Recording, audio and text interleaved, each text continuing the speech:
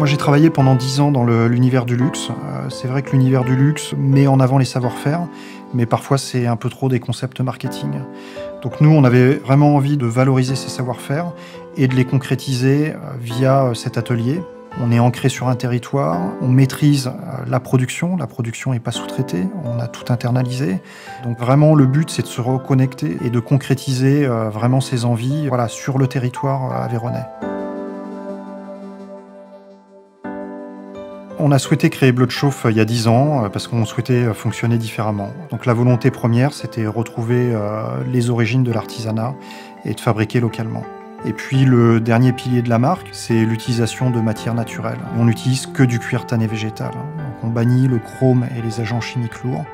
Donc c'est fabriqué, c'est transformé avec des agents naturels comme l'acacia, le mimosa, le châtaignier.